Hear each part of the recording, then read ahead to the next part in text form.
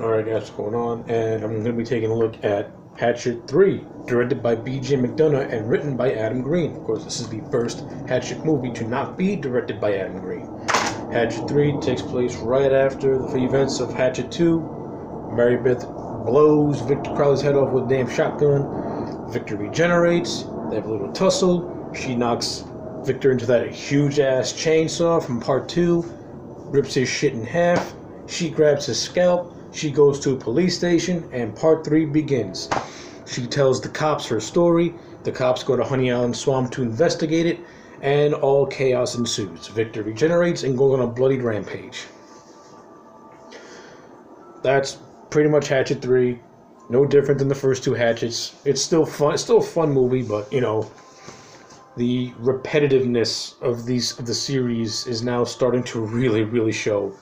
And you know, when you watch all three of these movies back to back, you really do start to see like a, a repetitive a repetitive streak go on. It's okay.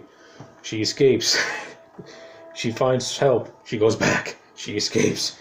She finds help. She goes back. That's pretty much what the that's pretty much what these movies are. But in this one, she escapes, goes to the cops. They think she committed all the murders. They lock her ass up. Then one of the cops' ex-wife goes in there, who's a reporter. She's like, "I know how to stop Victor Crowley." And then her and the deputy, they go to find Victor Crowley's ashes' father.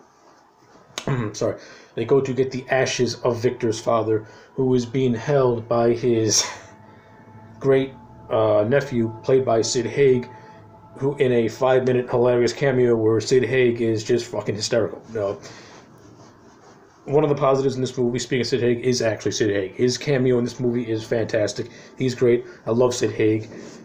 If I have to give any praise to any of the Rob Zombie movies, it's whatever. It's it's the ones that have Sid Haig or the ones that save that because Sid Haig is great. And he plays like he literally plays like this old, you know, this old Southern coot who is not in touch with reality. Thinks that 10 years ago was yesterday and is still stuck in the segregation era because like you leave the colored outside because you know the deputy's black and he's like you leave that colored outside. So yeah sid haig is funny. He's good. And you know there's other some characters that are good too. You know perry shen who was in the first two movies returns again in this one of course, Perry Shen plays though the brothers Sean and Justin, who get offed in gruesome fashion in the Hatchet in the two Hatchet movies.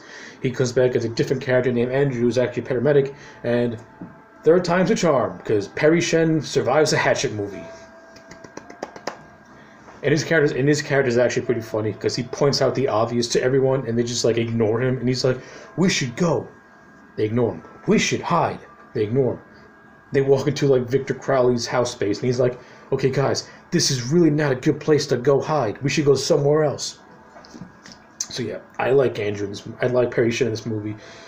I found him funny in the first two movies, and I find him funny and good in this. I think he's a very underrated, funny guy. So Perry Shen, positive for me.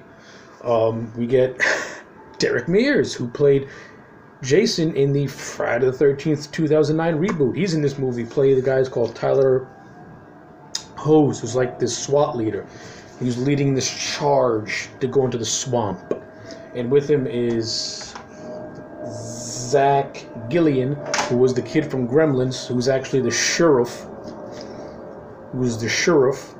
And of course, he is joining in this escapade of law to go track down and kill Victor Crowley. Instead, Victor Crowley kills all of them in gruesome fashion. No, there's this.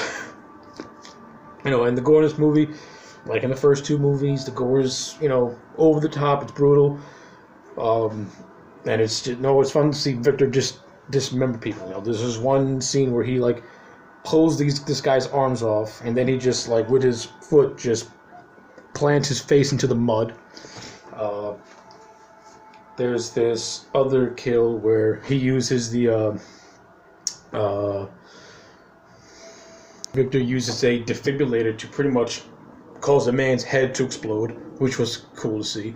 Um, there's near the end of the movie, you get this really cool, you know, really cool suspense scene going on where three characters are locked inside of a boat, and then and then and there's this big hole right in the doorway, and two characters go near that hole, and Victor just tears them to shreds. It was pretty fun. It was fun seeing all that stuff. Um, you know, Danielle Harris once again returned as Mary Beth, and she's fun. She's cool. Know, she gets to she gets to uh, play Mary Beth into that more of that white trash thing. Well, we're starting to show shades of the white trash, and she comes from a white trash family. She's starting to show some of that white trashiness. You know, telling people "fuck you," "fuck this," "fuck you," which is which is pretty fun. And like I said, Caroline Williams from Texas Chainsaw Massacre 2, she played Stretch. She's in this movie playing, you know, uh, Gremlin's kid's ex-wife, and she's like I said, she's a reporter. She knows Victor's history, and and she knows how to stop Victor, and that and that's where her, you know, her and you know Mary Beth team up to go try and find um, the ashes and all that stuff, which ultimately leads to the climax. And I'm not going to give away the climax because just watch the movie. So that's that. Um, like I said, this is the first movie not directed by Adam Green, and the direction's fine. I like it; it's good. He. Adam Green does the writing, and this movie, I actually think this is actually the funniest out of all the Hatchet movies because this movie really pokes fun of itself. Just the opening uh, scene, uh, one of the one of the earliest scenes is where uh, the sheriff is talking to uh, Mary Beth, and she she recounts the story to him, and he's just like, "That is the most contrived thing I've ever heard." You know, poking fun at the at the Hatchet movies. Um, then there's this one character keeps pointing out who's a, who's a cop, and his whole thing's like he's scared of where he is, and he's like, "Do you know where we are? I've only been here for three years, and I'm and I'm scared shitless." And then he like he sees like a, a pair of balls on a tree branch, and he's like, "Balls should don't belong over there." Then in the background, you see some guy throwing up, and he's like, "That guy knows what's up." So yeah, and like I said, and like I said, Perry Shen's character also provides a lot of funny moments, as well as Sid, Sid, Sid Haig's cameo, which also provides good moments of his own. So yeah, overall, and of course, the design of Victor Crowley in this movie, I think, is done much much better. And Kane Hodder as Victor Crowley is has it puts on a much more better performance in this movie also, because he gives Victor more rage and more brutality. So yeah, overall, I like Hatchet Three. Um, if I'm gonna rate it, I'm gonna give it I'm gonna give it an 8.5 out of 10. I like it more than one and two, you know, and it's also a good closure to the original Hatchet trilogy. so yeah, 8.5 out of 10. And now I await the fourth installment to this movie called Victor Crowley, which I will be reviewing very very shortly. Anyway, that's all I got to say about the original trilogy for Hatchet. Like this video, subscribe to this channel. Also, if you like professional wrestling, subscribe to my other channel, for which I'll provide a link for in the description box below. Thank you very much and have a good one.